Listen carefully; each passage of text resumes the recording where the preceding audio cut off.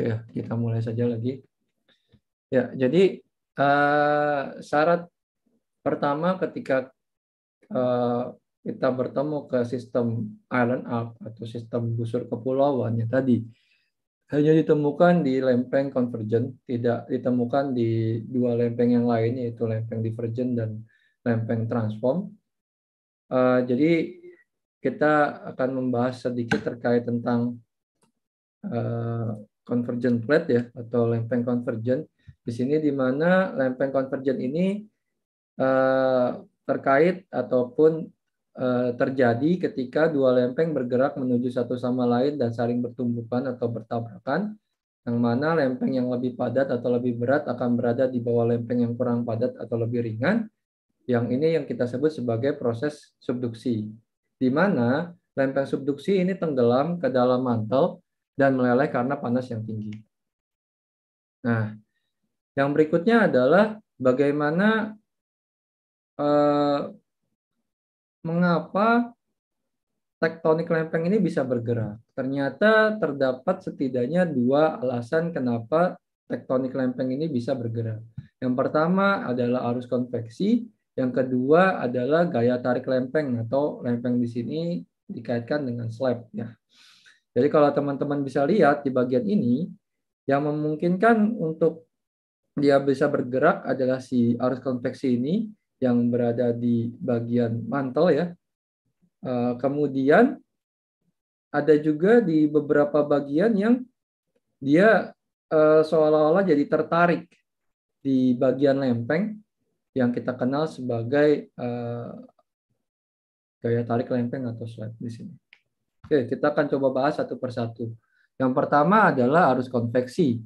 Nah, arus konveksi ini adalah pergerakan panas di dalam mantel, di mana material dalam mantel ini dipanaskan oleh inti, mantel kemudian mengembang, naik dan menyebar di bawah lempeng, kemudian lempeng diseret dan menjauh satu sama lain. Nah, nanti kita kenal sebagai lempeng divergen. Nah, ini prosesnya bagaimana uh, arus konveksi terjadi. Uh, sumber panasnya ini adalah dari core, uh, untuk arus konveksinya sendiri berada di mantel yang nantinya hasil pergerakan hasil dari arus konveksi ini yang menggerakkan lempeng yang ada di atas mantel. Yang berikutnya adalah uh, gaya tarik lempeng slab, uh, gaya tarik lempeng atau slab di sini. Jadi ketika lempeng yang lebih padat menunjam di bawah lempeng yang kurang padat. Ini menarik sisa lempeng bersama Kemudian lempeng subduksi menggerakkan bagian arus konveksi yang bergerak ke bawah. Jadi kalau teman-teman bisa lihat di bagian ini, nah ini kan hasil dari subduksi ya. Subduksi antar kedua lempeng di mana bagian ini jadi seolah-olah tertarik ke bagian bawah sehingga bergabung dengan arus konveksi yang ada di bawahnya.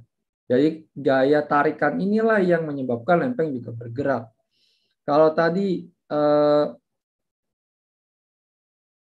arus konveksi menyebabkan uh, adanya pergerakan divergen atau divergent plate atau lempeng divergen, sedangkan untuk yang gaya tarik lempeng ini menyebabkan atau terjadi pada daerah-daerah uh, yang tipikalnya adalah lempeng convergent.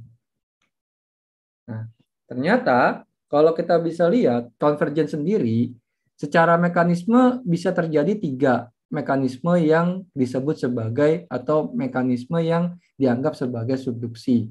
Yang pertama adalah ketika adanya lempeng samudra yang menunjam dari lempeng benua, di mana volcanic arc-nya dihasilkan pada lempeng benua. Jadi nanti produknya salah satunya akan ada trends atau palung. Jadi kalau teman-teman mendapatkan trends, itu ada kemungkinan merupakan hasil dari uh, proses subduksi. Nah, ini yang pertama kita sebut sebagai terminologinya adalah tetap subduksi, yaitu antara lempeng benua dengan lempeng samudra. Yang berikutnya yang berikutnya adalah ketika lempeng samudra menunjam ke island arc di sini. Jadi nanti hasilnya adalah volcanonya adalah Simon ya atau uh, gunung api bawah laut atau adanya pegunungan-pegunungan yang dihasilkan di uh, suatu busur. Kadang-kadang disebut sebagai volcanic arc, kadang-kadang juga bisa disebut sebagai iron arc. Jadi ketika lempeng samudra menunjam dari iron arc atau volcanic arc, maka tetap akan menghasilkan trends di sana, tapi nanti ini adalah mekanisme yang berbeda dengan yang di atasnya. Jadi ada oceanic crust yang menumbuk dari volcanic arc atau iron arc. Ini tetap dikatakan sebagai subduksi atau ya dikatakan sebagai subduksi. Yang berikutnya adalah ketika ada pertemuan antara lempeng benua dengan lempeng benua. Jadi saling bertumbukan antara lempeng benua dengan lempeng benua.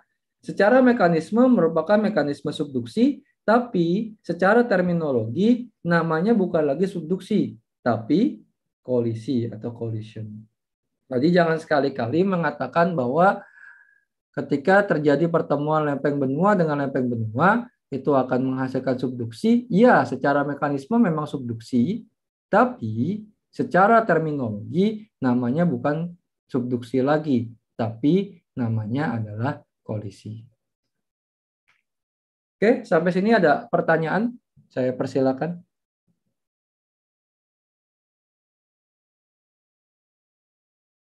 Oke, kalau nggak ada, kita lanjut dulu ke yang selanjutnya adalah palung uh, samudra.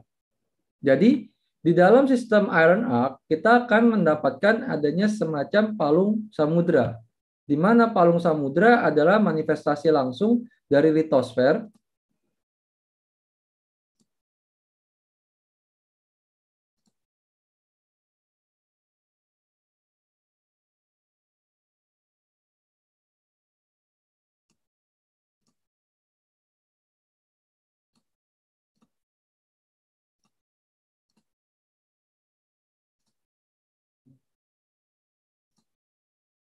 Ya. Jadi palung samudra ini adalah manifestasi langsung dari litosfer samudra yang berada di bawah dorongan dan berkembang di sisi laut dari busur pulau atau busur kepulauan serta adanya orogen tipe Andes yang terbentuk di atas zona subduksi.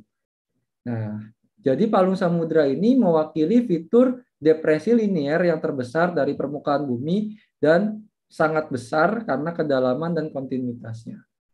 Nah, ini adalah sebaran dari oceanic trends yang ada di dunia, maka kita akan bisa dapatkan beberapa trends-trends ini dihasilkan di daerah-daerah yang kita kenal sebagai daerah-daerah subduksi, di mana nanti di bagian di barat dari Sumatera kita kenal adanya Sunda Trends, kemudian di bagian Jawa, eh, di selatan Jawa kita juga akan dapatkan adanya Java Trends, dan di beberapa lokasi seperti di bagian Izu Mariana kita juga ketemu yang namanya Mariana Trench dan lain sebagainya.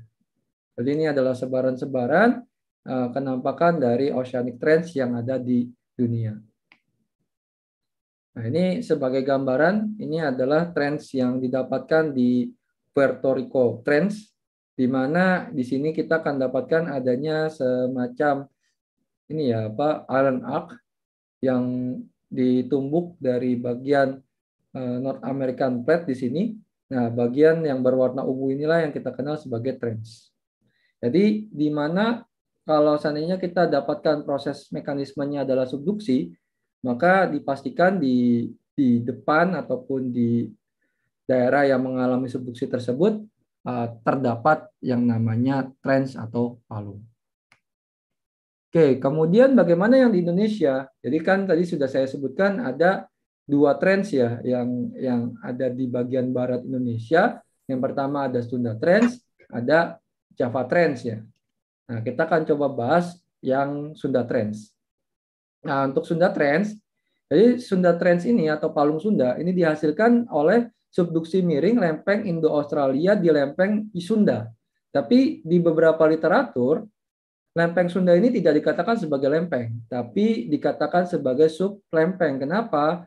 Karena lempeng Sunda sendiri bukan merupakan lempeng tersendiri, tapi merupakan sub lempeng dari penyusun lempeng Eurasia.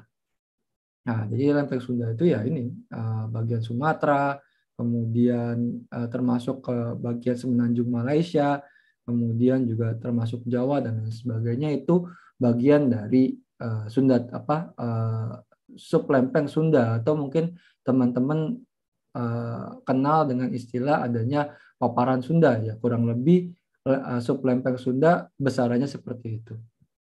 Nah, jadi ketika ada subduksi miring tersebut dengan kecepatan yang tidak rata, di mana di bagian selatan itu lebih cepat ya, sekitar 61 mm per tahun dibandingkan di bagian utara yang kecepatannya adalah 51 mm per tahun atau 5,1 cm per tahun.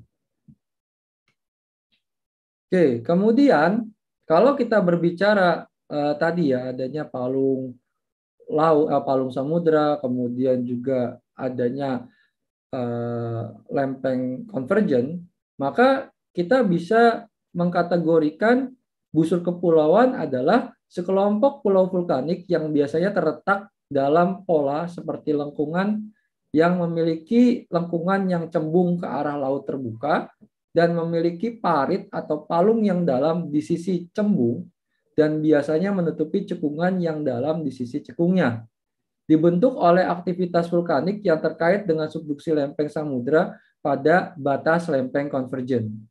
Dan ini juga dikenal sebagai busur vulkanik atau vulkanik arc. Jadi kalau dikatakan apakah apakah sama antara island arc dengan vulkanik arc? Jawabannya ya sebenarnya sama karena mereka adalah semacam busur yang dihasilkan oleh aktivitas vulkanisme sehingga disebut sebagai volcanic arc dan bentuknya seperti kepulauan sehingga namanya adalah island arc atau busur kepulauan. Jadi secara uh, sederhananya island arc ini adalah sebuah rantai aktivitas vulkanisme yang muncul di daerah tersebut. Kemudian ketika gunung api meletus, magma akan masuk ke dalam air sehingga akan menciptakan sebuah pulau yang ada di dalam air tetapi keluar dari lautan. Jadi semacam suatu sistem tersendiri di luar dari busur ataupun di luar dari samudera. Ini yang kita kenal sebagai uh, island arc atau uh, busur pulau. Nah, secara sederhana seperti ini, bagaimana mekanisme kehadiran dari island arc. Jadi ini adalah uh, ini ya lempeng samudra yang menunjam dari ya entah magmatic arc di sini ya. Sehingga magmatic arc di sini inilah yang kita sebut sebagai volcanic arc atau island arc. Jadi tumbukan yang nantinya akan menghasilkan uh, sebuah kepulauan yang dihasilkan dari ini ya uh, adanya lelehan magma yang naik ke permukaan sehingga membentuk yang kita kenal sebagai magmatic arc atau volcanic arc atau island arc di mana nantinya ketika kita dapatkan ada magmatic arc, bagian depan dari magmatic arc nanti kita sebut sebagai fore arc atau busur depan, sedangkan bagian belakang dari magmatic arc kita akan dapatkan yang kita sebut sebagai cekungan back arc atau cekungan busur belakang. Nah, di bagian ini di bagian apa? Di bagian depan dari fore arc di beberapa lokasi ada yang akan menghasilkan prisma akresi, ada juga yang tidak menghasilkan prisma akresi. Bagaimana kedua hal tersebut bisa terjadi? Nanti akan saya jelaskan di submateri selanjutnya. Jadi pada dasarnya ketika ada regangan ataupun adanya uh, penipisan kerak, maka otomatis akan menghasilkan semacam cekungan yang nantinya tergantung posisinya itu dia di depan dari magmatic arc-nya atau di belakang dari magmatic arc. Kalau seandainya terbentuknya di depan dari magmatic arc, maka tadi kita sebut sebagai busur depan atau fore arc. Tapi kalau dia di belakang dari magmatic arc atau volcanic arc, maka kita sebut sebagai uh, back arc atau busur belakang. Nah, ini untuk uh, tipikal dari komponen dari zona subduksi maka kita akan dapatkan di bagian ini uh, dominannya adalah uh, batuan sedimen ya yang berada di uh, cekungan depan busur. Kemudian di volcano ini kita akan dapatkan ada beberapa batuan-batuan beku yang sifatnya adalah intrusif seperti pluton. Kemudian ada magma chamber yang menjadi dapur magma dari gunung api yang ada di uh, benua. Kemudian kalau kita bergeser ke depan, kita akan dapatkan adanya palung, kemudian ada juga kompleks subduksi yang nantinya di beberapa bagian kita akan temukan adanya prisma akresi ataupun tidak ditemukan prisma akresi. Kemudian di bagian ini nanti kita akan temukan beberapa sesar-sesar, baik itu sesar naik ataupun sesar normal, yang mungkin teman-teman akan familiar dengan nama istilah yang kita sebut sebagai megatras atau sesar naik raksasa yang terdapat di beberapa ataupun di depan dari zona-zona subduksi yang dihasilkan. Kemudian kita bergeser ke arah samudra, maka kita tahu bahwa komponen dari penyusun kerak samudra akan dominan adalah basaltik. Kemudian di bagian litosfernya, maka kita akan dapatkan batuan yang sifatnya lebih ke ultramafic atau ultrabasa. Yang salah satunya adalah harsh. Jadi kalau basaltik tipikalnya adalah mafic, maka untuk yang uh, Harsburgit ini adalah tipikal uh, ultramafic atau ultrabasa dan di bawahnya ada asenosfer. Dan ini penggambaran untuk iron arc yang uh, versi berbeda. Jadi kalau kita bisa lihat di bagian-bagian ini, ini adalah iron arc yang tertumbuk oleh lempeng samudra, di mana di bagian ini yang nanti kita kenal sebagai palung atau trends, dan di Iron Arc ini kita akan dapatkan beberapa eh, gunung-gunung uh, api aktif ya yang terbentuk akibat dari uh, subduksi. Nah, kalau nanti kita akan bandingkan, nanti akan kita kaitkan juga dengan eh, gempa-gempa bumi yang berasosiasi dengan zona Benioff Wadati. Oke, sampai sini ada pertanyaan sebelum kita bergeser ke anomali gravitasi. Saya persilakan kalau ada pertanyaan.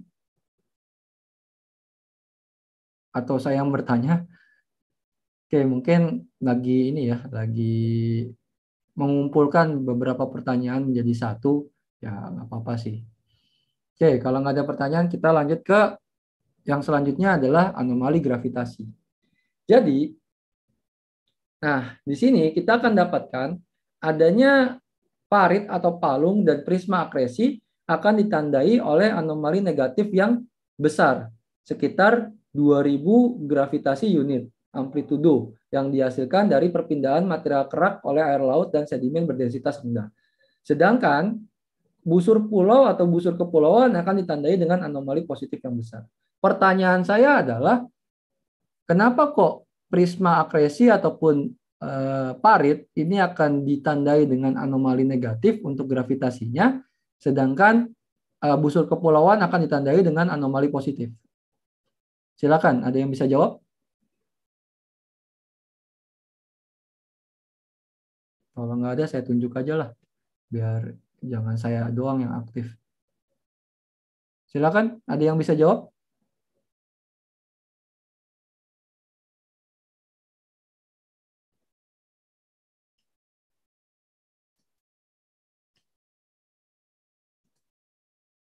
Oh, kira-kira kenapa tuh? Kok parit dan atau palung dan prisma akresi anomali gravitasinya negatif, sedangkan untuk busur kepulauan anomalinya positif. Ayo, ada yang mau jadi volunteer ingin menjawab?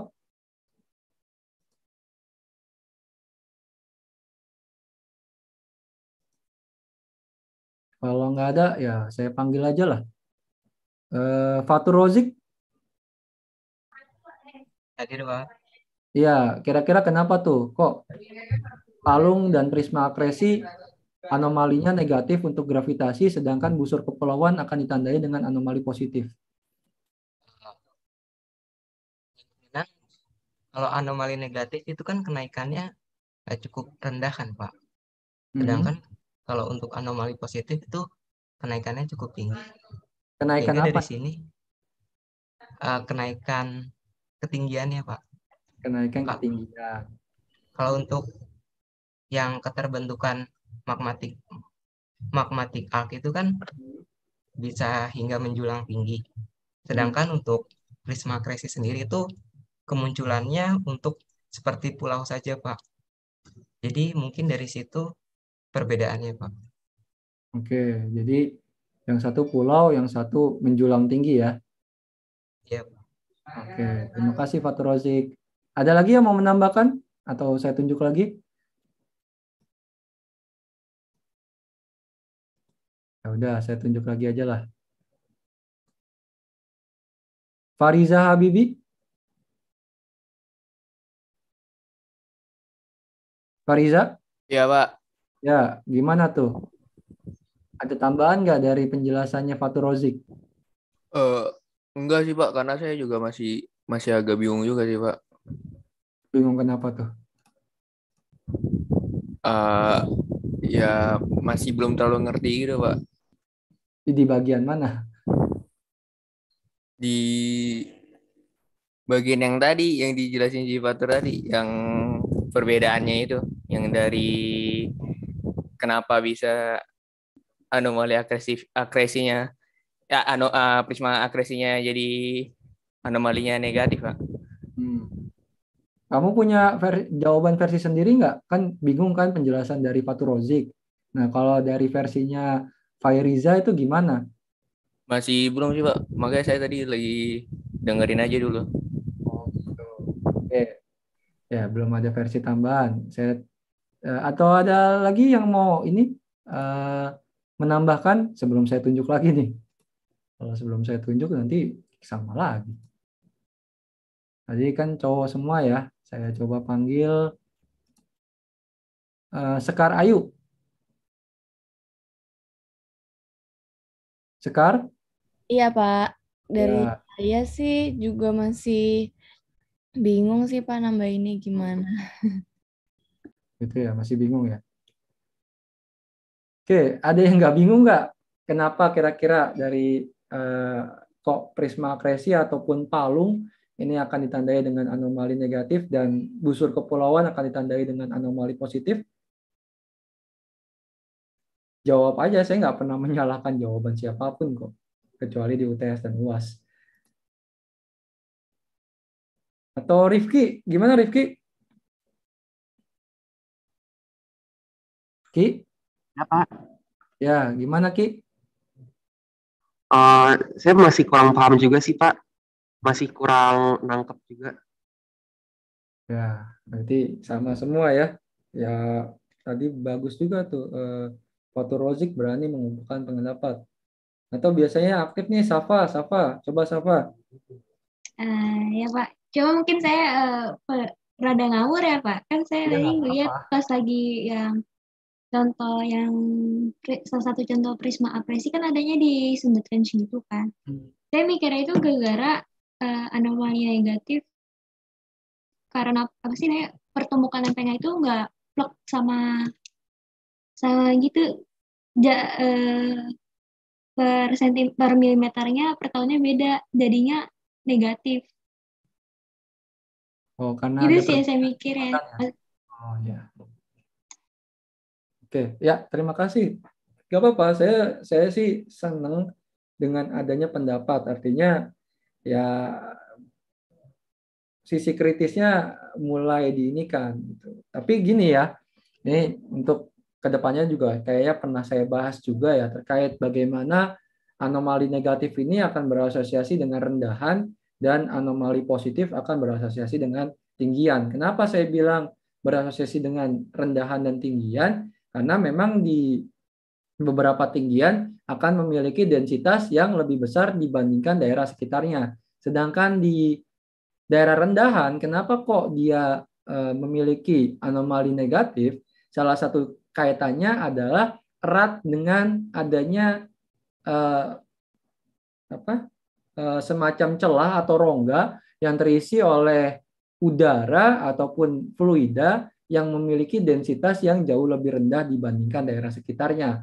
Maka otomatis untuk palung dan prisma akresi karena terdapat celah ataupun terdapat rongga yang memungkinkan untuk terisi oleh fluida ataupun eh, apa namanya fluida ataupun air atau eh, udara serta adanya pencampuran dari beberapa densitas yang ada sehingga memungkinkan di daerah tersebut memiliki densitas yang jauh lebih rendah dibandingkan daerah sekitarnya.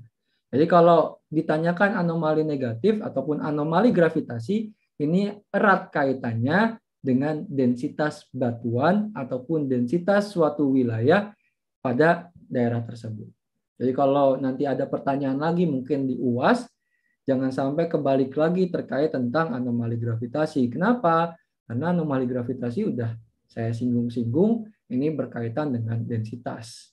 Jadi metode gravitasi salah satunya ini dipakai untuk penentuan densitas di lokasi-lokasi yang diukur pada metode gravitasi. Oke, yang berikutnya kita dapatkan adanya anomali isostatik di atas parit dan busur besar yang menunjukkan polaritas yang sama dengan anomali free air atau udara bebas.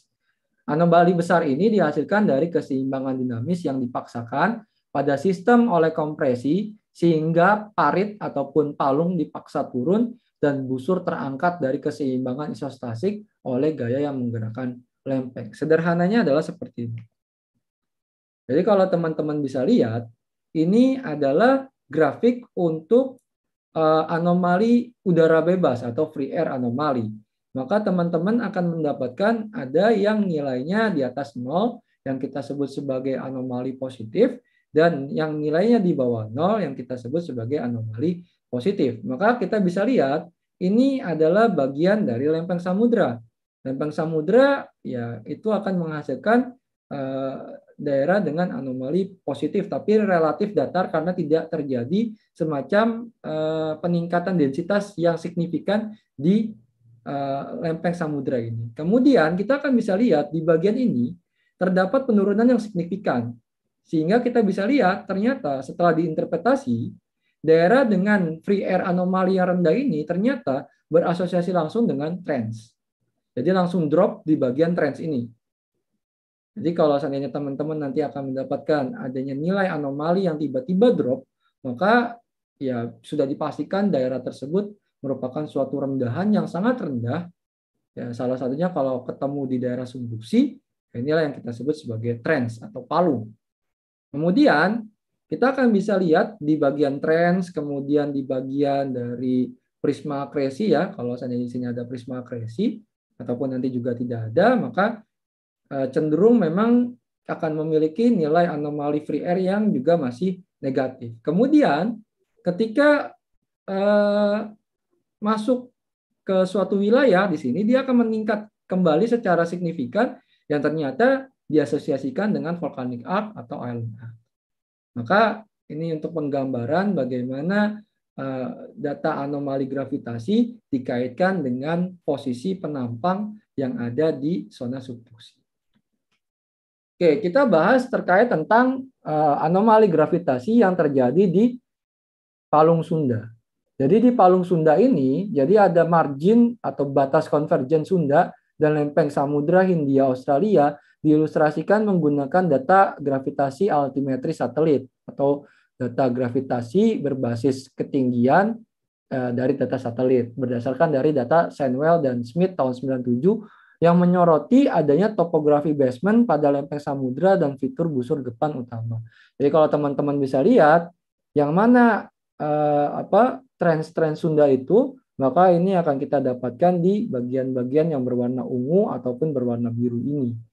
Nah, itu nanti yang kita kenal sebagai palung Sunda. Jadi kalau melihat data gravitasi paling simpel adalah lihat aja yang warnanya ungu atau biru itu adalah anomali positif, anomali negatif, sedangkan yang berwarna merah dan kuning itu adalah anomali positif. Gampangnya simpelnya seperti itu. Dan ini hanya diambil di lautan saja, nggak diambil di daratan. Jadi yang daratan sebenarnya ada, tapi kita kan berfokus pada penampakan dari palung Sunda. Sehingga kita bisa lihat di beberapa bagian ini adalah palungnya. Nah, yang warna merah ini apa, Pak? Yang warna merah ini yang nanti kita sebut sebagai prisma akresi. Kok saya ini sih, Pak, nggak ada gambaran, Pak, prisma akresi itu di Indonesia yang mana sih, Pak? Ya mungkin kalau istilah terminologinya prisma akresi mungkin kalian bingung. Tapi kalau saya sebut Pulau Nias, Pulau Mentawai, Siberut, Simelu, dan lain sebagainya, atau Pulau Enggano, Nah, itulah produk dari prisma akresi. Jadi yang selama ini kalian kenal sebagai pulau-pulau yang ada di bagian barat dari Pulau Sumatera, yang terpisah dari uh, bagian dari Pulau Sumatera, dianggapnya ya pulau-pulau terpisah aja sebagai barrier island. Tapi pada dasarnya mereka bukan barrier island sebenarnya. Tapi mereka itu adalah prisma-prisma akresi hasil dari bentukan subduksi antara lempeng India Australia yang menumbuk ke sublempeng Sunda. Oke, jadi sudah jelas ya, cukup jelas. Jadi contoh nyata dari prisma akresi ada di mana? Ya, prisma akresi contoh nyatanya sekarang ada di Pulau Nias, Pulau Mentawai, Siberut, uh, Simelu, dan di Pulau Enggano yang ada di bagian barat dari Pulau Sumatera. Oke, sampai sini ada pertanyaan. Saya persilakan. Jangan sampai kalian bingung-bingung sendiri uh, kayak tadi gitu kan. Uh, tapi dikasih kesempatan untuk bertanya malah nggak dimanfaatkan kesempatan tersebut. Saya persilakan kalau ada pertanyaan. Maaf Pak, izin bertanya. Cuma mungkin pertanyaannya rada ngawur. Iya nggak apa-apa. Itu tuh kan pas lagi uh, yang di Palung Sunda kan uh, jajaran anomali negatifnya berarti kan ada palung-palung kan. Nah ya. itu tuh sebenarnya palungnya itu palung-palung terpisah atau palung nyambung Pak? Oke, palungnya terpisah atau palungnya nyambung gitu ya. Oke, pertanyaan yang bagus, Safa, dan belum ditanyakan juga sama mahasiswa yang lain. Nah, jadi begini, Sebenarnya bukan palungnya ini tidak nyambung, tapi bayangkan palungnya ini dia tidak datar. Jadi di bagian dasar dari palungnya itu ternyata memiliki kontur yang berbeda-beda. Setiap kontur, ketika konturnya sangat dalam, maka akan berasosiasi dengan warna ungu. Tetapi ketika terjadi kenaikan kontur, ya entah berapa meter ataupun berapa ratus meter gitu kan, itu akan meningkat menjadi warna biru, menjadi warna biru muda dan lain sebagainya. Jadi sebenarnya palungnya ini nyambung, ini dalam gitu kan. Tapi ingat bahwa palungnya itu sendiri topografinya ataupun e, batimetrinya di sini ya, itu dia tidak datar, tapi dia memiliki kontur dengan ketinggian yang berbeda-beda sehingga memungkinkan anomali yang tercatat pada data gravitasi akan memiliki nilai yang berbeda-beda tergantung dari ketinggian yang terukurnya atau ketinggian di daerah tersebut. Seperti itu, Safa. Oke, makasih, Pak. Oke, ya ada lagi yang lain? Oke, kalau nggak ada, kita lanjut dulu aja ke seismisitas di zona subduksi. Nah, di sini kita akan bisa lihat bahwa ternyata kalau kita bisa lihat di sini kan kita akan dapatkan adanya uh, ini ya, adanya gempa bumi yang terjadi di zona subduksi. Nah, pertanyaannya adalah uh, ini menggambarkan seperti apa sih sebenarnya seismisitas di zona subduksi? Nah, kita akan membahas di bagian ini. Jadi gempa bumi sendiri itu terdiri dari ada yang gempa bumi dangkal, ada yang gempa bumi menengah, ada yang gempa bumi dalam dan ada yang gempa bumi sangat dalam atau mungkin ada juga yang disebut sebagai gempa bumi sangat dangkal. Nah, ternyata walaupun gempa bumi ini memiliki kedalaman yang berbeda-beda, tapi ternyata lokasinya tuh ter, ter apa?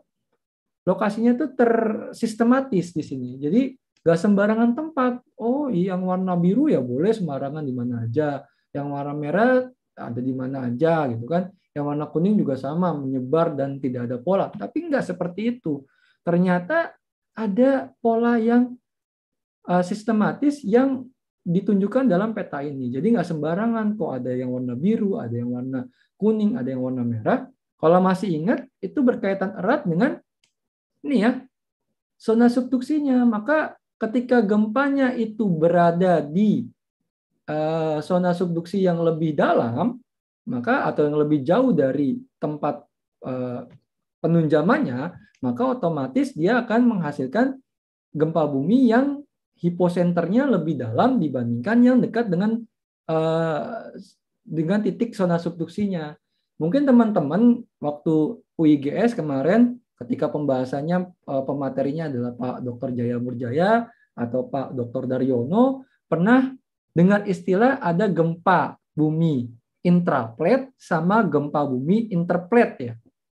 Nah, ada yang masih ingat nggak apa yang dimaksud dengan gempa bumi intraplate dengan gempa bumi interplate? Ada yang masih ingat nggak? Saya kayaknya pernah nyinggung-nyinggung deh tentang gempa intraplate dan gempa interplate. Ayo, ada yang masih ingat nggak? Coba saya tunjuk lagi nih. Saktio Bima. Saktio. Saktio. Ya, Pak. Ya. Apa yang dimaksud dengan gempa bumi interplate dan gempa bumi intraplate?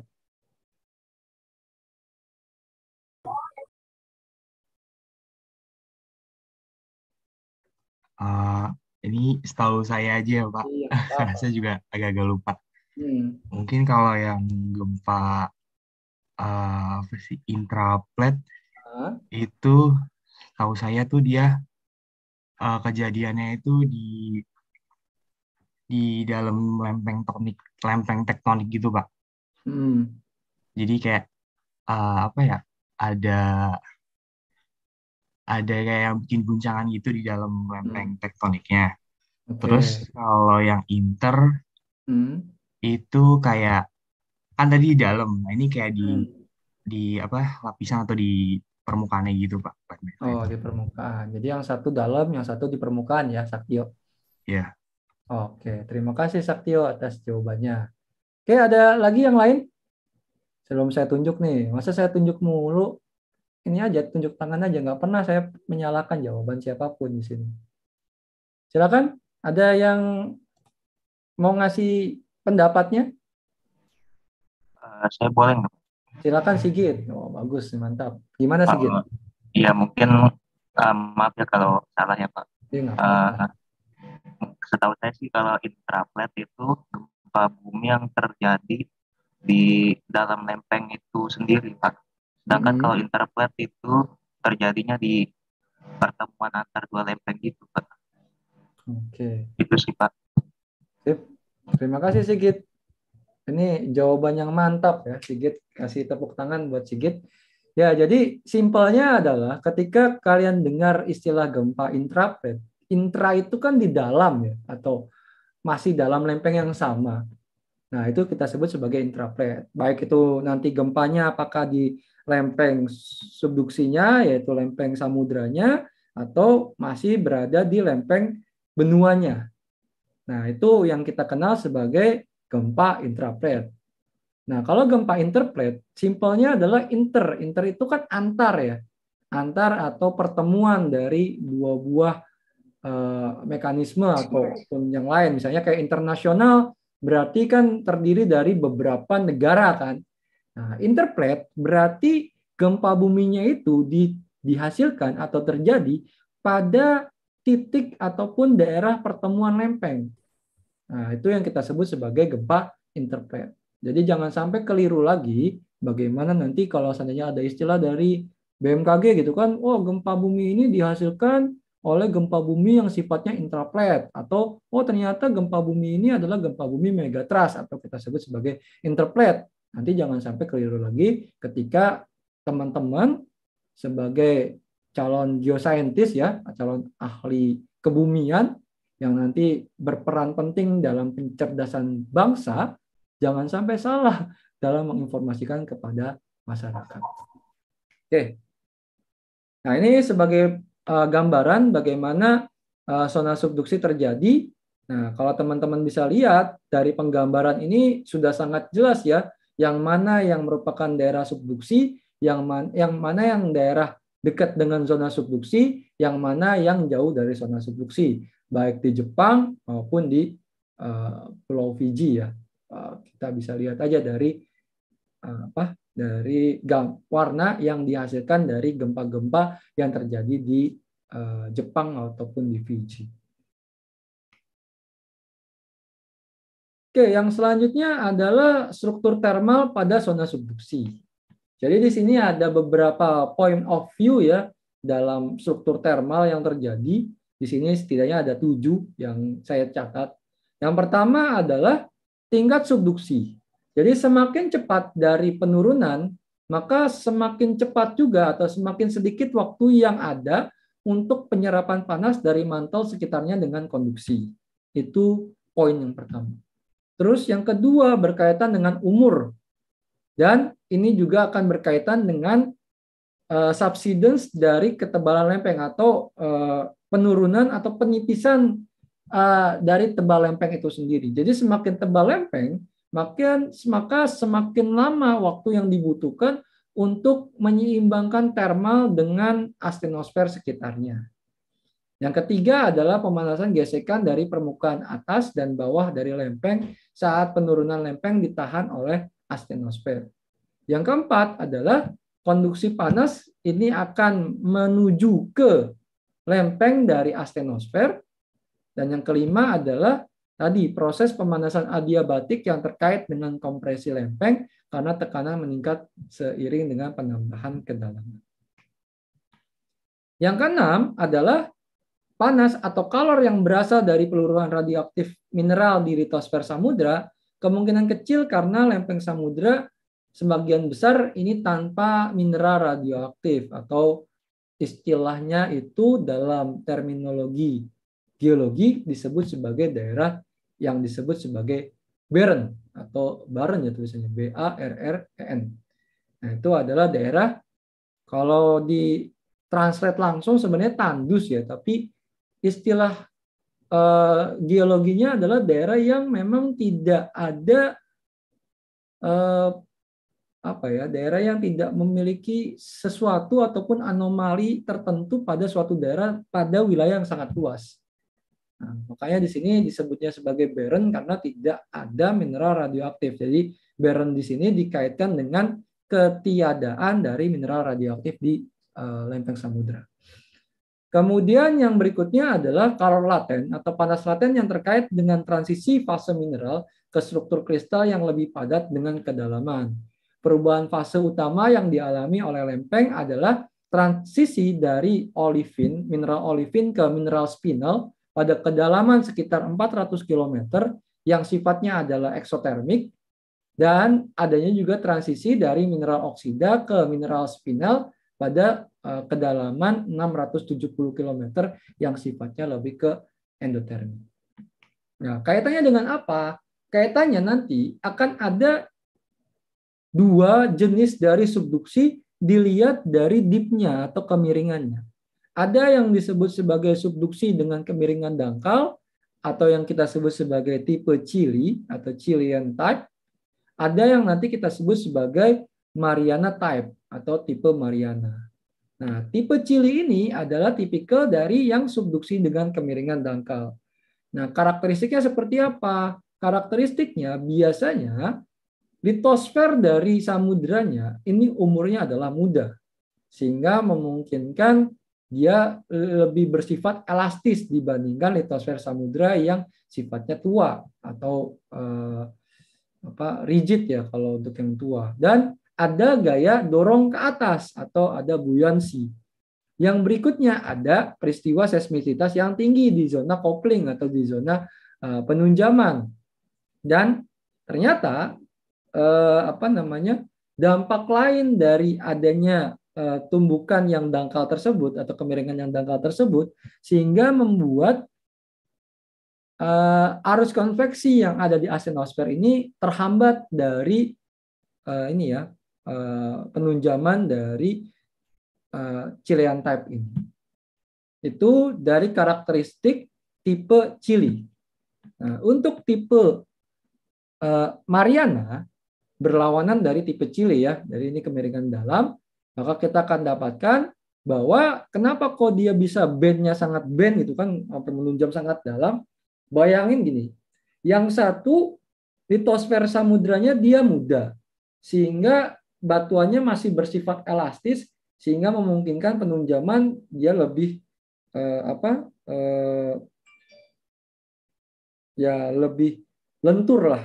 Dibandingkan yang sudah tua itu kan biasanya ketika dia tabrakan dan lain sebagainya dia akan bengkok sebengkok-bengkoknya nggak bisa balik lagi. Nah ini penggambaran bagaimana kok bisa Mariana type ini tipikalnya penunjamannya sangat dalam Terus seismisitasnya karena sangat dalam biasanya dia rendah di uh, zona penunjaman. Serta karena penunjamannya dalam, maka otomatis arus konveksi yang ada di astenosfer ini akan mengalir lebih lancar dibandingkan dengan yang ada di tipe Chile. Nah, ini adalah uh, tadi ya perubahan dari uh, apa mineral tadi kita akan dapatkan di 400 km kita akan dapatkan perubahan dari olivin ke mineral spinel. Uh, kurang lebih ya tadi ya ini sekitar 1600 derajat. Kemudian uh, kita juga akan dapatkan adanya perubahan dari mineral spinel ke mineral oxide atau perovskit dan magnesiowoodite di sini di kedalaman kurang lebih 670 km. Ini adalah zona penunjaman oceanic, ini trends, kemudian ini adalah bagian dari uh, kontinen atau benua. Oke, sampai sini ada pertanyaan? Pak, saya izin Ya. nanya boleh Kak, Pak? Silakan. Siapa ini? Eh, em, saya mau nanya, eh, buat gempa interplate sama intraplate itu ngaruh nggak sih Pak sama kedalaman gempanya? Interplate sama intraplate ya? Ah. Oke, terima kasih Titan. Ya, jadi intraplate dan interplate ini nanti akan berasosiasi juga dengan eh, apa? Dengan kedalaman. Karena memang ketika dia adalah gempa bumi interplate, maka otomatis gempa-gempa bumi yang dihasilkan adalah gempa bumi gempa bumi dangkal. Ah, ya, karena memang di titik pertemuan tersebut berasosiasi dengan eh, hiposenter yang dangkal. Tapi ketika kita dapatkan di daerah-daerah uh, intraplate yang memang dia dihasilkan karena uh, tadi ya adanya uh, aktivitas subduksi, maka otomatis kalau gempa buminya intraplate maka dia akan memiliki kedalaman yang dalam. Kalau dia masih berasosiasi dengan subduksi. Karena kalau intraplate dan interplate pasti adalah gempa bumi gempa bumi yang berhubungan dengan uh, subduksi.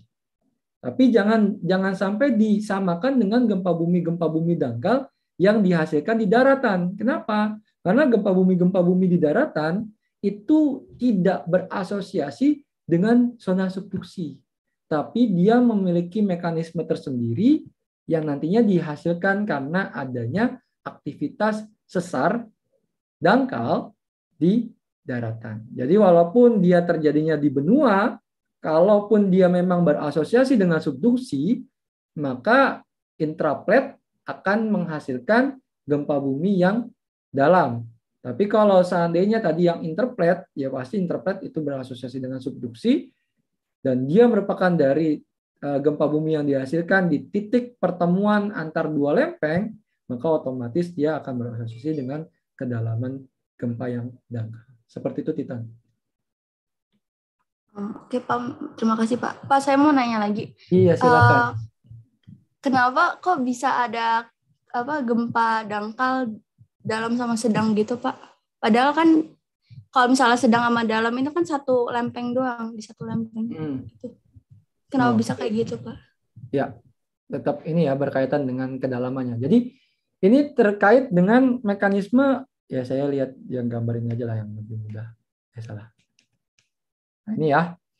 Anggaplah ini adalah nah ini. Ini adalah lempeng subduksi dari lempeng samudra yang menunjam ke kontinen. Nah, kalau dia terjadinya di sini, maka kan dia otomatis masuknya ke gempa dangkal.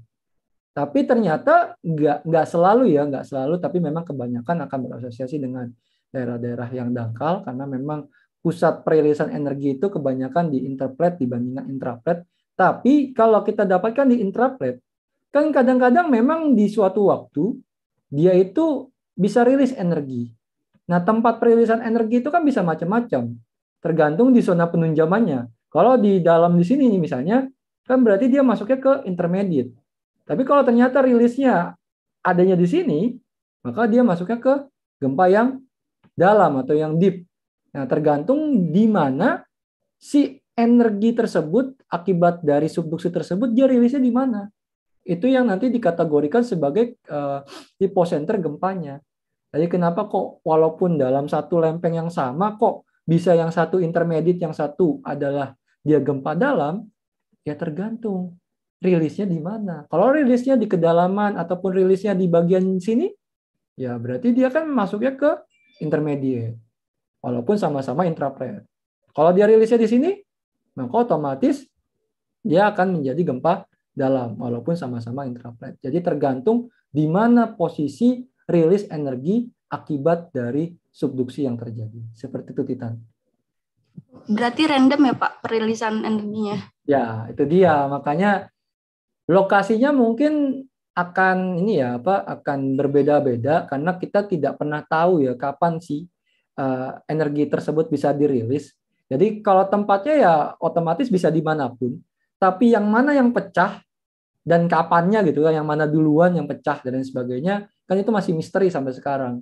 Karena uh, parameter pentingnya kapan batuan tersebut bisa pecah itu belum bisa dipecahkan sampai sekarang. Kapan waktu ininya ya, kapan waktu tepatnya, oh dia bisa jadi intermediate-nya nih hari Kamis misalnya, terus tiba-tiba di minggu depannya baru yang inter, uh, yang deep-nya yaitu tadi karena memang rilisnya itu tergantung batuannya tuh kapan dia bisa menjadi lemahnya itu belum terpecahkan sampai sekarang. Makanya bisa dibilang random karena belum dapat ditemukan alasan yang pas ataupun terminologi yang pas untuk menjelaskan mekanisme yang terjadi. Seperti itu Titan. Oke Pak, terima kasih. Oke, ada lagi yang lain? Lanjut dulu ya. Kita Nanya, Pak. Oh, silakan silakan. Uh, pengaruh uh, deep dari lempeng tadi subduksi terhadap hmm. gempa itu gimana Pak? Perbedaan. Misalnya ada yang tadi ada yang curam, ada yang da, oh, ada iya. yang enggak curam gitu, terhadap gempa. Oke, ya terima kasih Kevin, pertanyaannya bagus. Jadi nanti akan berkaitan dengan ini ya, apa berkaitan dengan tingkat keseringan gempa yang terjadi. Ini nanti berkaitan dengan tipe Chili dan tipe Mariana.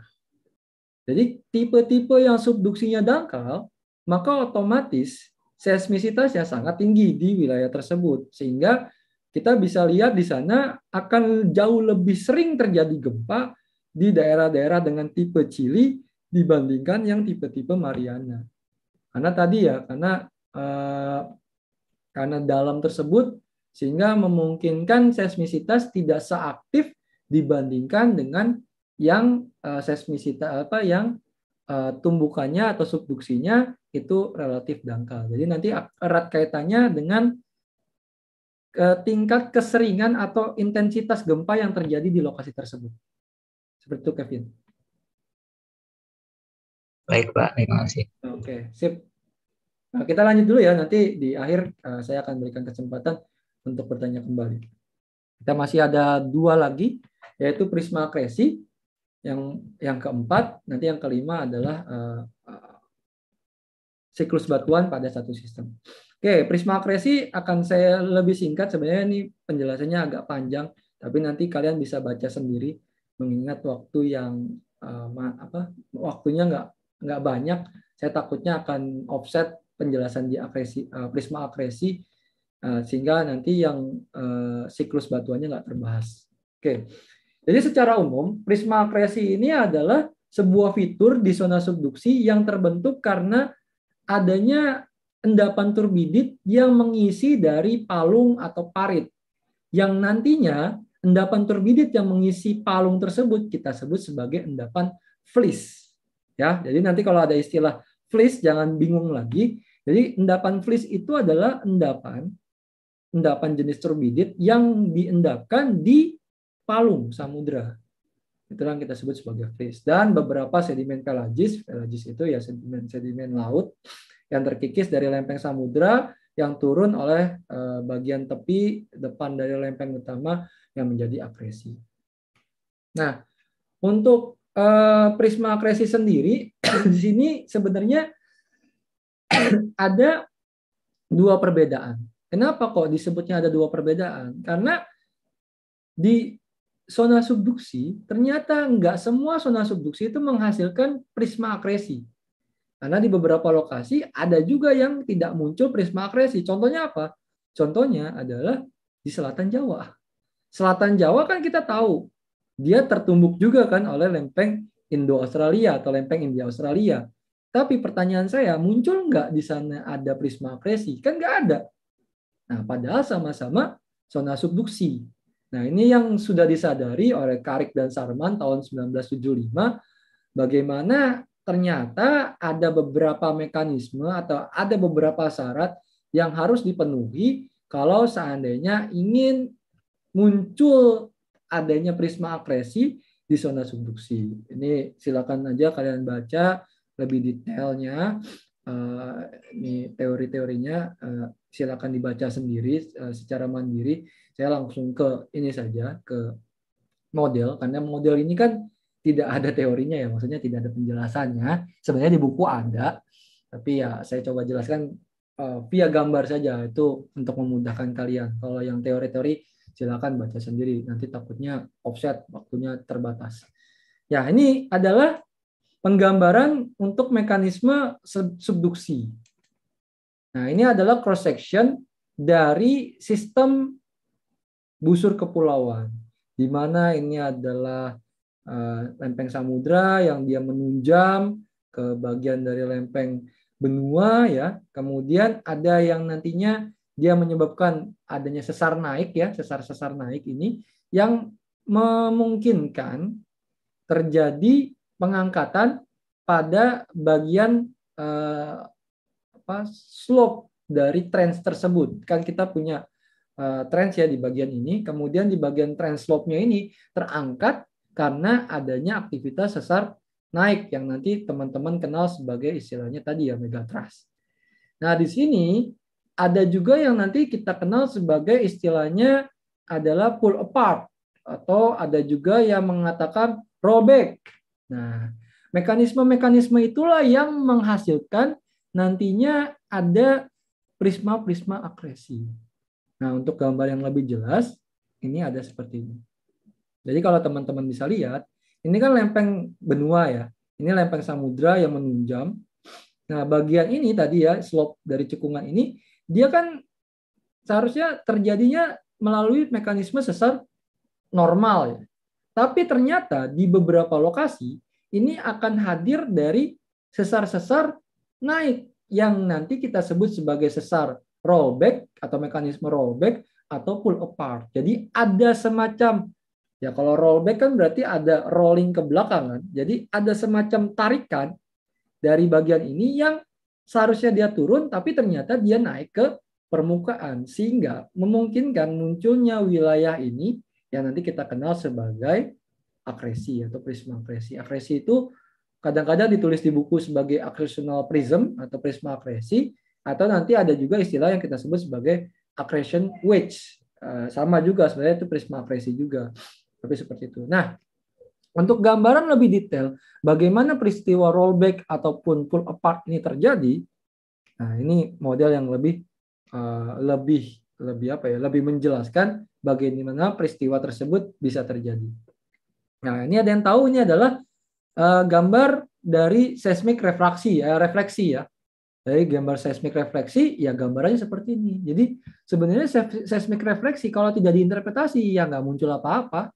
Cuman ada garis-garis, kemudian ya udah gitu aja. Tapi itulah fungsinya teman-teman interpreter. Interpreter itu bisa teman-teman geofisik ataupun teman-teman geologis di sini untuk bisa menginterpretasi uh, kondisi bawah permukaan itu seperti apa.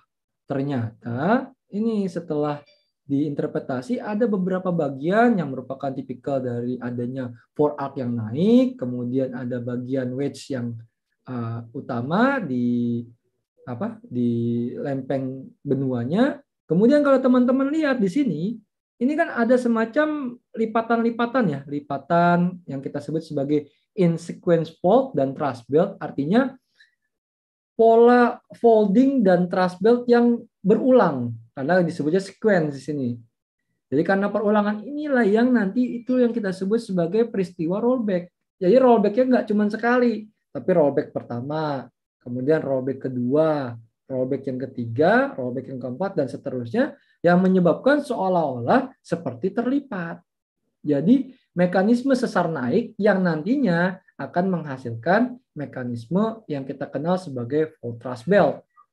Nah, thrust belt nggak mesti selalu muncul di daratan, tapi bisa juga muncul di prisma-prisma akresi yang ada. Jadi kalau kita bisa lihat di sini, tadi rollback pertama atau pull apart yang pertama, tarikan pertama, kemudian tarikan yang kedua, tarikan yang ketiga, dan seterusnya, sehingga menjadikan sebuah pola seperti ataupun bentukan lipatan yang dihasilkan dari beberapa uh, sesar-sesar naik yang uh, terjadi secara uh, episodik ataupun bertahap.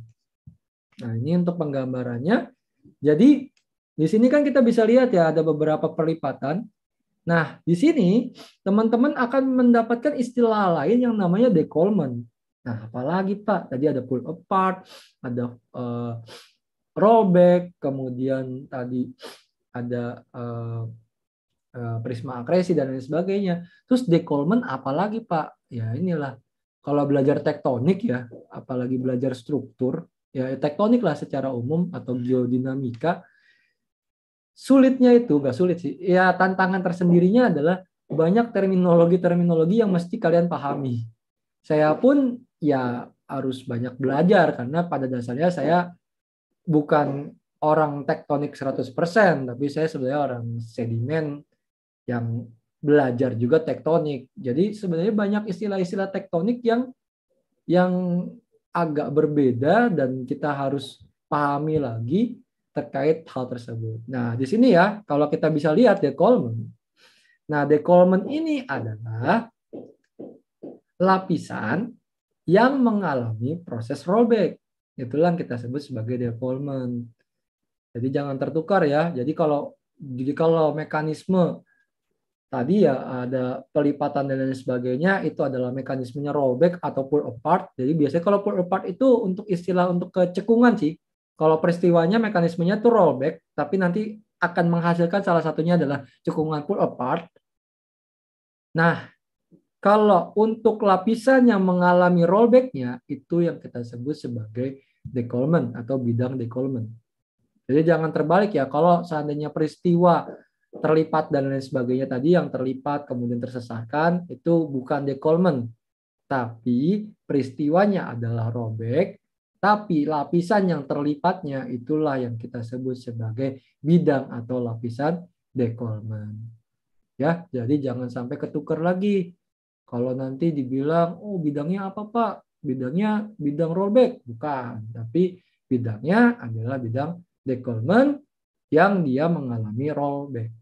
Ya, jadi peristiwanya bukan decollement, tapi peristiwanya namanya rollback. Ini kalau terjadinya prisma akresi. Nah, tadi pertanyaannya adalah, kan ada juga zona subduksi yang nggak menghasilkan prisma akresi.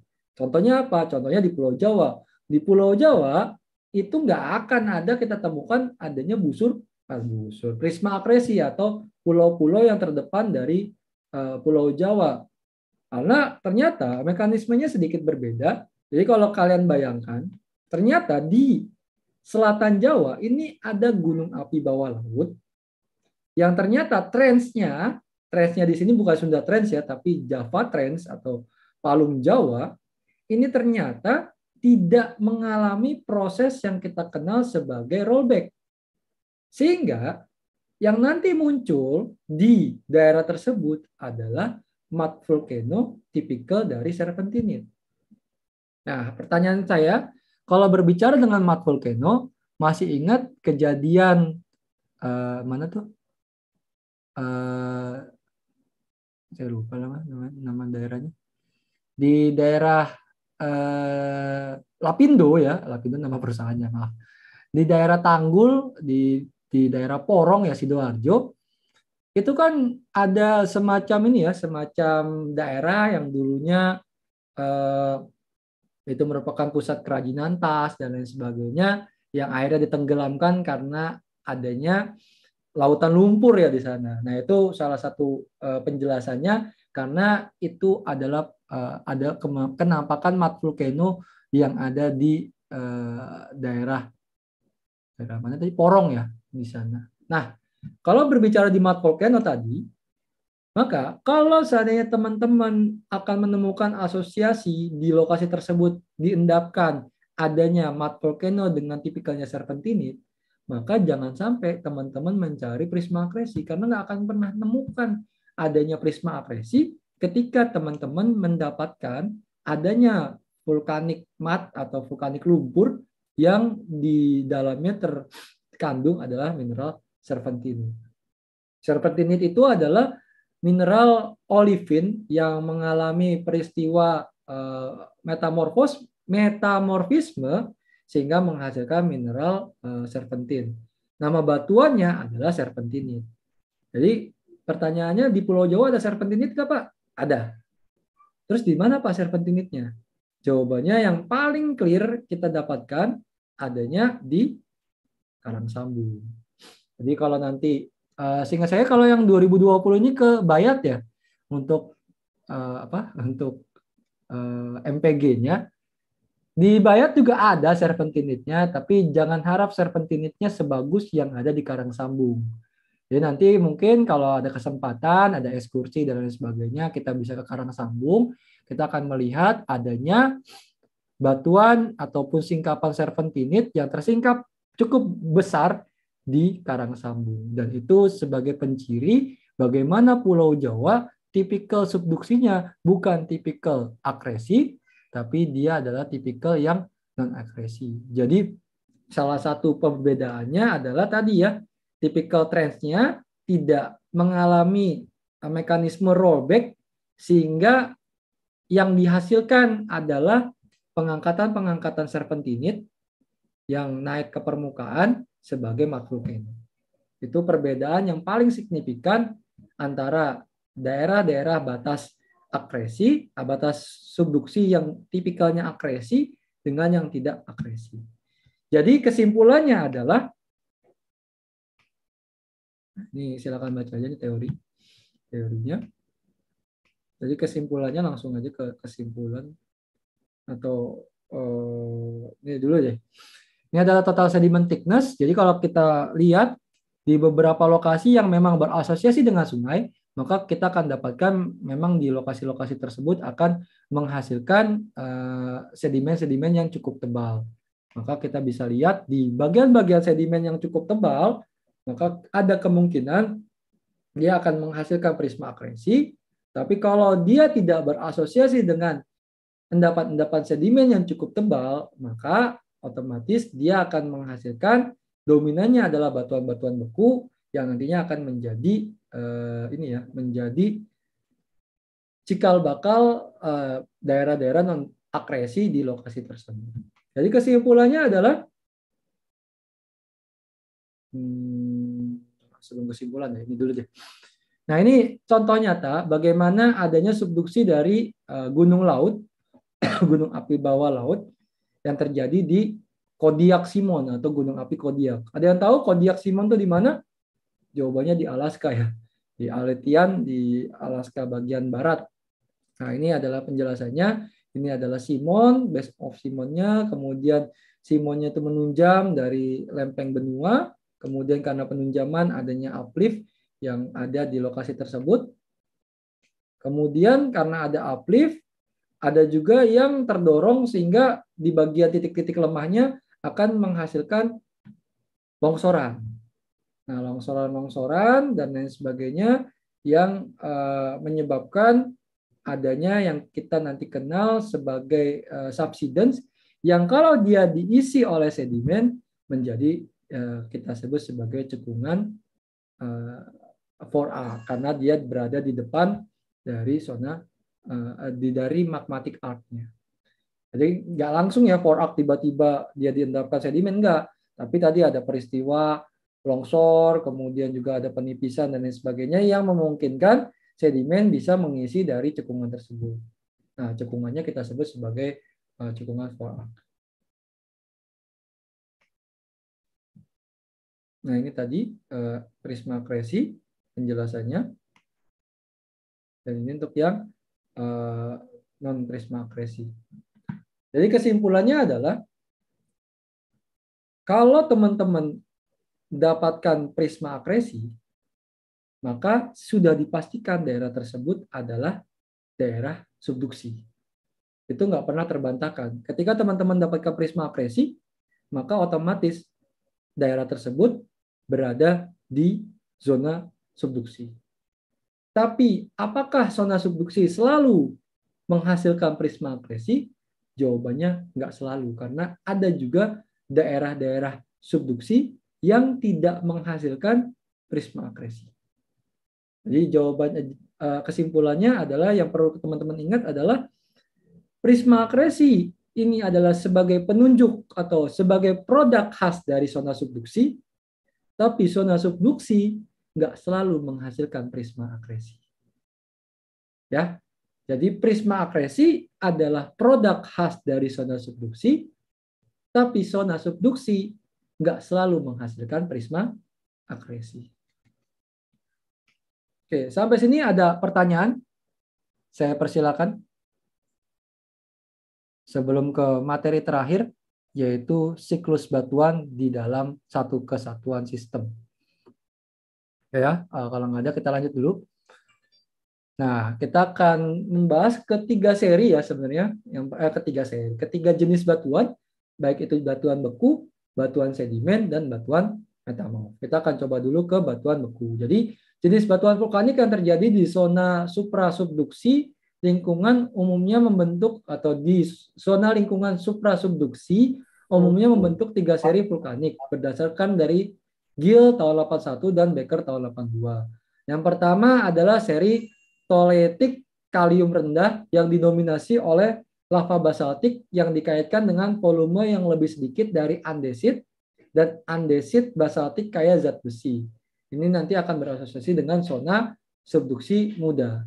Kemudian ada yang kita sebut sebagai deret kalk alkalin yang didominasi oleh andesit menurut Thorpe tahun 82 yang cukup kaya akan kalium, unsur inkompatibel lainnya, dan unsur tanah jarang ringan. Di busur benua, dasit dan riolit berlimpah meskipun mereka lebih rendah dari andesit. Yang berikutnya adalah seri alkali termasuk subkelompok basal basa, eh, ya basal dengan tipikalnya basa dan lava yang mengandung kalium yang sangat tinggi dengan tipikal lava jenis dari sosonitik atau sosonik. Nah, kalau teman-teman dalam menentukan batuan beku, jangan pernah melupakan deret bawon. Kenapa?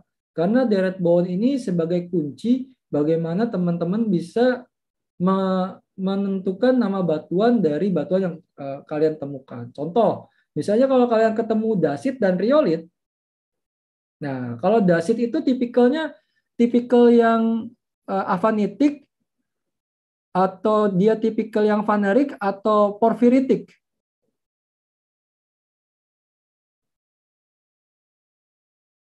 Dasit. Ada yang masih kenal, masih ingat Dasit, batuan Dasit? Udah belajar petrologi kan seharusnya? Nah, kalau ketemu Dasit itu tipikalnya tipikal yang avanitik, vanerik, atau porfiritik.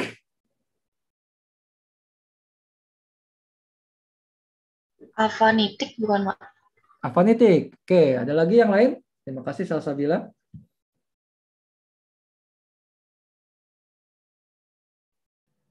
Kalau saya okay. panaritik, Pak. Panaritik, oke. Okay. Ya, jadi sebenarnya untuk dasit sendiri tipikalnya adalah porfiritik. Kenapa dibilang porfiritik? Karena eh, sebaran mineralnya tuh ada yang lebih besar dibandingkan yang lain. Nah, ciri khas dari dasit adalah adanya plagioklos yang besar-besar di antara masa dasar yang lain. Makanya dasit kadang-kadang disebutnya sebagai porfiritik, tapi ada juga yang mengategorikan sebagai vanerik. Jadi ini erat kaitannya dengan penyusun mineralnya. Kalau seandainya teman-teman tahu andesit kan tipikalnya adalah tipikal yang intermediate, maka ketika ketemu andesit, walaupun dia tipikalnya adalah tipikal avanitik, maka jangan berharap teman-teman akan ketemu kuarsa di andesit. Kenapa? Karena kalau di deret Bowen, yang namanya intermediate, itu kan berarti temperaturnya itu adalah temperatur yang menengah. Sedangkan kuarsa itu terbentuknya di temperatur-temperatur rendah. Sehingga nggak mungkin ada andesit mengandung kuarsa. Sama ketika kalian dapatkan batuan granit, granit kan tipikal vanerik ya. Maka jangan harap kalian ketemu olivin di sana. Kenapa? Karena granit tipikalnya adalah tipikal yang felsic, yang memang terbentuknya di eh, temperatur rendah, sedangkan olivin terbentuknya di temperatur tinggi yang ketika dia eh, terjadi penurunan temperatur, maka otomatis dia akan mengalami perubahan temperatur, perubahan mineral atau mungkin juga dia sudah mengalami pelapukan. Sehingga jangan harap ada granit yang mengandung olivin. Oke, kemudian ini ya untuk uh, pembagiannya. Yang berikutnya adalah metamorphic rock. Nah, dalam metamorphic rock, kita akan temukan di dalam metamorphic rock itu adalah jenisnya adalah facies. Nah, facies ini ini bisa menentukan di bagian mana proses metamorfik terjadi. Karena di dalam facies ini dikumpulkan dari temperatur dan tekanan. Nah, maaf balik ya, temperatur dan tekanan. Jadi kalau teman-teman mendapatkan zeolit di sini, maka jangan harap zeolit ini diendapkan di pressure yang tinggi dan tekanan tinggi karena zeolit sendiri ini hanya ditemukan di daerah-daerah yang memiliki tekanan dan temperatur rendah. Makanya disebutnya sebagai fasies zeolit. Kemudian kita bandingkan dengan eklogit. Eklogit jangan teman-teman nggak akan mungkin bisa dapatkan di daerah-daerah dengan tekanan dan temperatur yang rendah. Karena eklogit hanya bisa dibentuk di tekanan dan temperatur yang tinggi. Sehingga ketika teman-teman menghasilkan atau mendapatkan eklogit, maka otomatis itu adalah daerah yang sangat dalam, tapi dia bisa terangkat ke permukaan. Contohnya apa? Nanti contohnya teman-teman kalau ke karang sambung lagi, teman-teman akan mendapatkan walaupun itu adalah bongkah dalam bentuk bongkah ya eklogitnya, tapi itu eklogit yang benar-benar eklogit. Kalian dapatkan eklogit di sampel di sampling pun agak sulit karena tadi ya dia dibentuknya di tekanan dan di temperatur yang sangat tinggi, maka otomatis sangat keras batuannya sehingga sangat sulit untuk di sampling. Nah, ini contohnya untuk uh, di kerak samudra yang tersubduksi di bagian timur laut dan barat daya dari Jepang. Oke, kita akan bisa lihat di Northeast Jepang, eklogitnya akan uh, yang tipikal yang jauh lebih rendah tekanan eh, temperaturnya dibandingkan yang bagian dari uh, Southwest. Kemudian di bagian southwest juga akan ada yang tipikalnya adalah tipikal uh, melting hornblende di uh, southwest Jepang. Yang berikutnya adalah sedimentary rock. Nah, kalau sedimentary rock ini kan dia merupakan tipikal dari batuan-batuan yang dihasilkan karena proses sedimentasi. Nah, proses sedimentasi kan macam-macam ya. Ada yang tadi dia terendapkan di sedimen trench, kemudian ada juga yang hasil dari uh, apa dari erosi ataupun dari proses sedimentasi batuan-batuan beku ya. Jadi dia akan kaya dengan mineral-mineral litik ataupun berasal dari batuan-batuan vulkanik ya. Kemudian ter apa tersedimentasi dan tererosi sehingga menghasilkan uh, sedimen dengan litik yang banyak dan ada juga yang tipikalnya adalah tipikal karbonat atau tipikal-tipikal batuan-batuan sedimen yang dihasilkan karena aktivitas biologi di sini.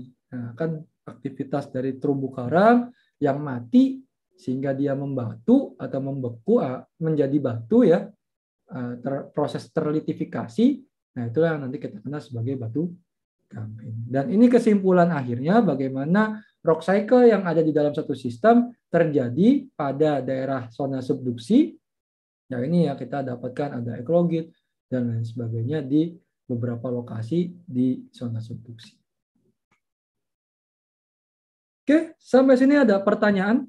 Untuk minggu depan kita akan membahas tentang continental transform dan strike slip fault ya.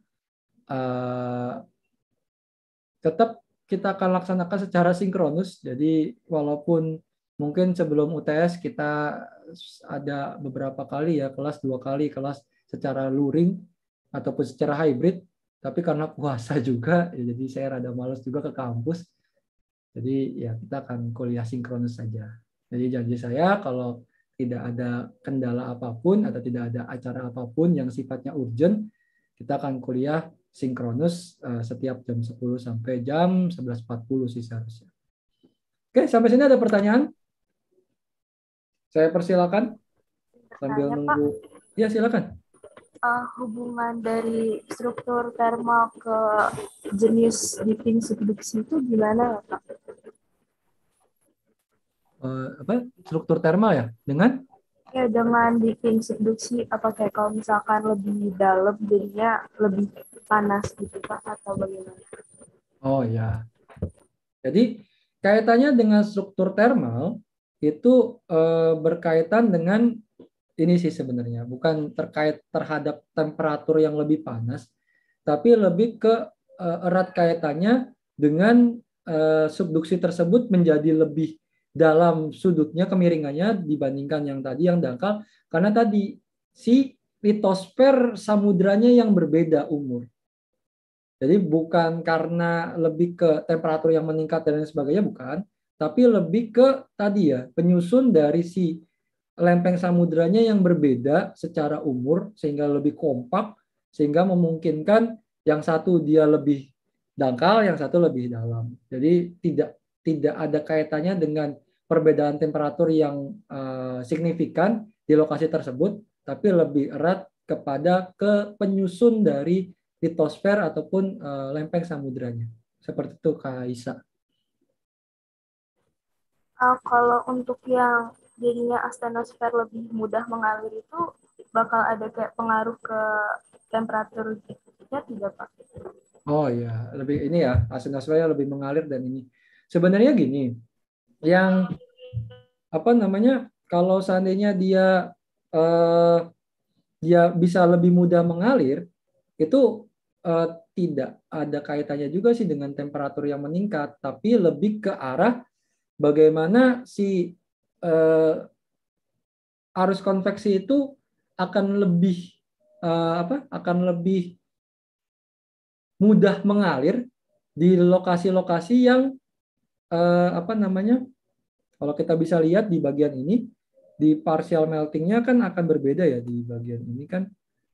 Nah, crustal meltingnya wilayah ininya apa wilayah untuk peristiwa melting dan peristiwa arus konveksinya akan jauh lebih sempit di bagian eh, apa yang subduksinya dangkal dibandingkan dengan yang subduksinya dalam. Kalau kita bisa lihat di sini kan kalau seandainya yang subduksinya dalam maka ruang yang dihasilkan akan jauh lebih lebar dibandingkan yang subduksinya dangkal.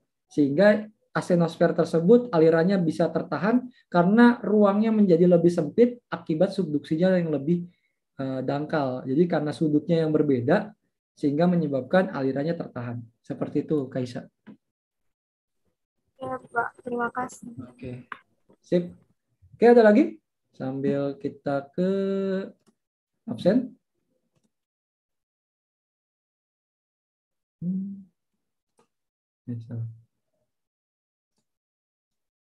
Oke, ya mungkin cukup ya untuk hari ini. Kalau misalnya masih ada pertanyaan, saya persilakan ditanyakan di kolom komentar dari uh, YouTube channel saya ataupun uh, link YouTube yang saya berikan nanti di Emas 2. Hmm, kita absen dulu. Ini cepat saja ya, karena sudah mau zuhur juga.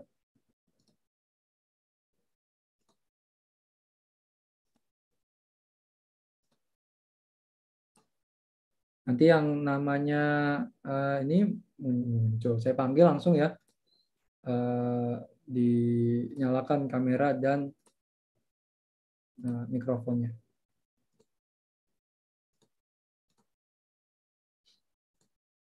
Oke, Kevin Fernando Utomo. Hadir, Pak. Sip. Rian. Hadir, Pak. Oke, Nadia. Lala, mana Lala? Nadia Faudila. Enggak ada. Pasha. Pasha. Enggak ada. Ada, Pak. Maaf, Pak. Oh. Tadi error. Sip. Fadli. Fad? Fadli?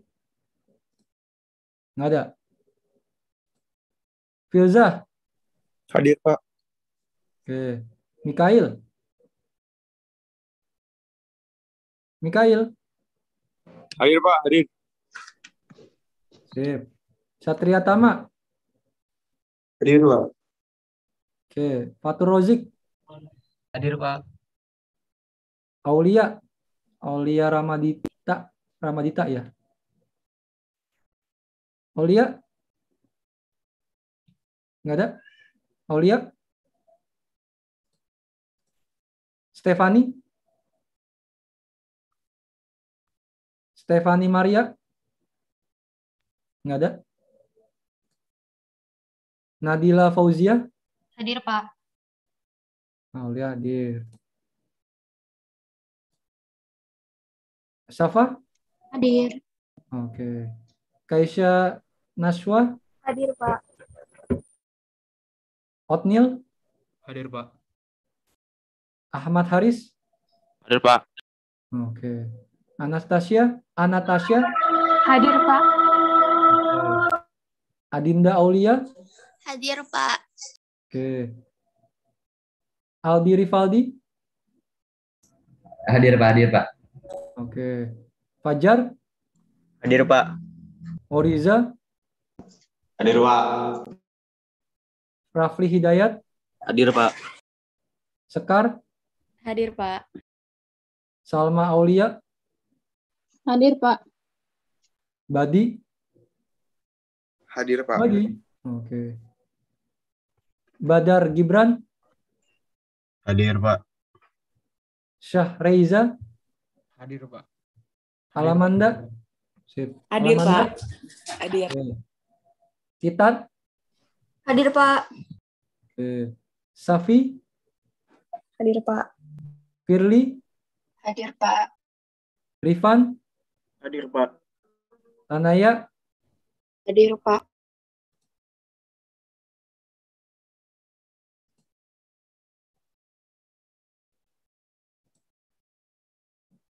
Tanaya. Sakyo? Hadir, Pak. Natasia? Hadir, Pak. Oke. Diva? Hadir, Pak. Abigail? Hadir, Pak. Ahmad? Khairul? Hadir, Pak. Marlina? Hadir, Pak. Oke. Carlo? Carlo? Hadir, Pak. Oke. Eh, Salsa? Bila? Hadir, Pak. Afifa? Hadir, Pak. Oke. Hani? Hani? Hadir, Pak. Oke. Romi? Hadir, Pak. Oke. Dayang?